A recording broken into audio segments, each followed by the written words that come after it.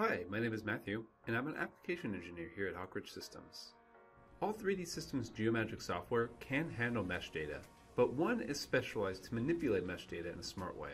Geomagic Wrap allows you to repair, clean, then extract CAD information quickly and at a level beyond other meshing software. I'm going to go over the basic interface and workflow of cleaning up a mesh in Wrap, then creating a solid body to export into SOLIDWORKS. I'm going to be using a bicycle helmet for our example that will scan with the Artec Eva. For starters, I'm going to import in a mesh using the import options. While importing, we are given a choice of the unit system of our mesh. Mesh data is unitless at first. The data has information on bounding box size, but doesn't know if this is in inches or millimeters, which we set here. We can verify the size of our mesh using the measures tool and the distance between two points. Now that the mesh is inside of Wrap, we can begin using some of our tools. There's a wide range of tools available and broken into different tabs. Some are more commonly used than others, such as the transform body or extract features like planes and cones. You can even scan into Wrap using the capture tab. You can also extract out sketches within the curves tab. Here, we can use an existing plane or create our own cutting plane by drawing on the screen. This can be split into even more planes to extract out several curves at once.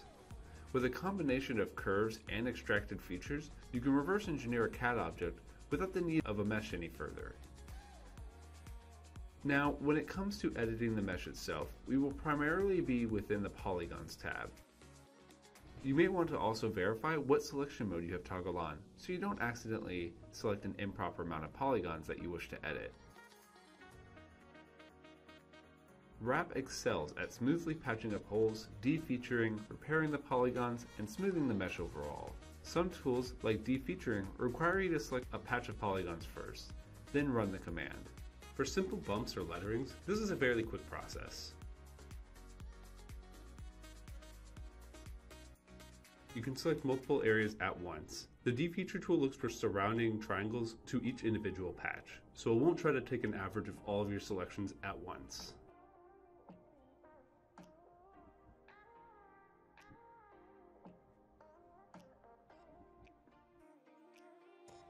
Some areas, however, may not be as simple to clean. These holes at the top of the helmet look to have an infolded area, otherwise known as non-manifold. I'm going to delete the top layer of the mesh to see what may be underneath.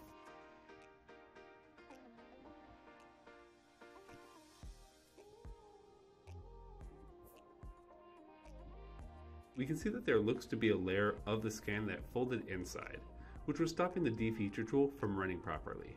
I can select a section of these triangles and expand my selection via the right click menu.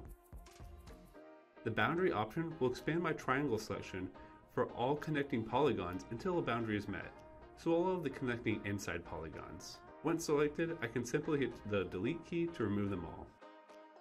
I'm not too worried about these smaller floating bits because they will likely be cleaned up with some other tools that we'll run later on. With these holes, we can choose to fill them all at once or individually. In the fill single command, we have a few ways to have our edges matched, and what level hole filling we want. I often keep my setting on tangent for a smooth transition between the edges. The bridge tool lets you select on one side of the edge and then connect it to another, making larger holes easier to manage. It's also best to remove edges with high noise counts, like where the strap of this helmet is, to give you a better hole filling.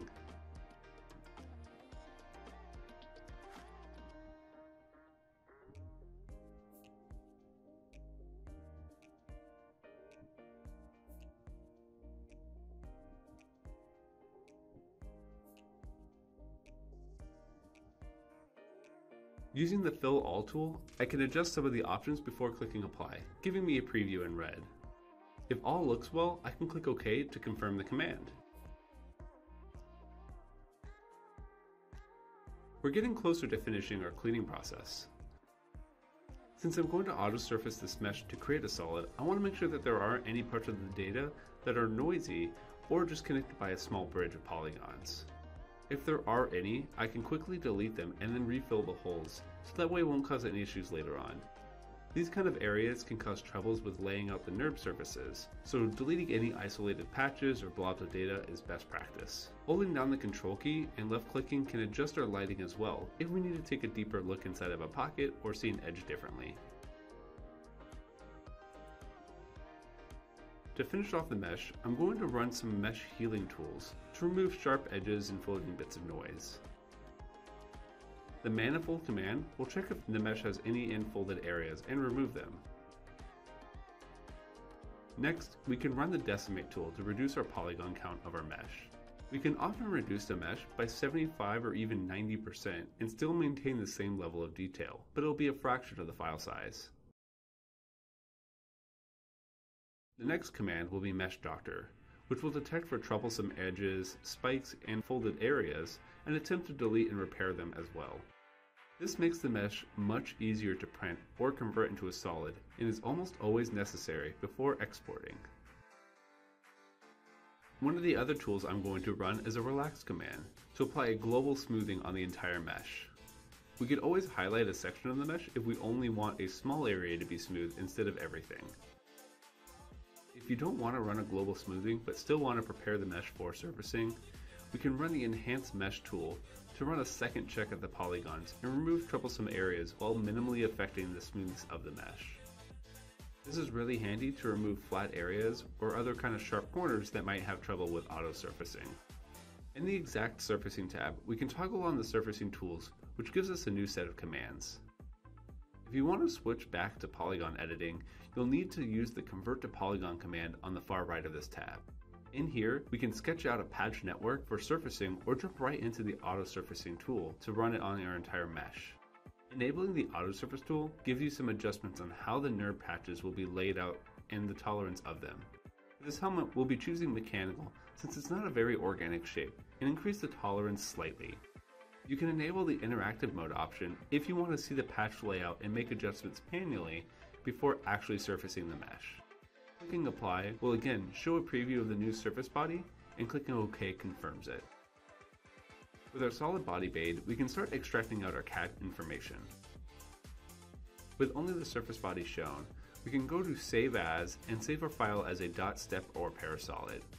For the curves, we'll only show them and then save these as an IGES.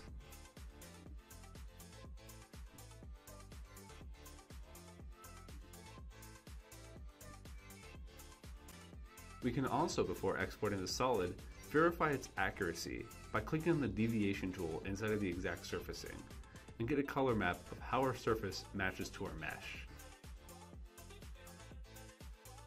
Inside of SOLIDWORKS, we can go into the Insert, Features, and Imported tool and select on our .step and IGES files we extracted from Wrap. The extracted features will keep their orientation and position, but we can move them once they're inside of SOLIDWORKS if desired. At this point, all of our information is now inside of SOLIDWORKS and we can begin modeling and editing the curves or solid body further. I hope you found this video helpful. Mesh editing is a process that can be daunting at first, but with the right software can be quick and easy, giving even the roughest scans new life and workability. Please subscribe to our channel if you'd like more videos on scanning, printing, and SOLIDWORKS.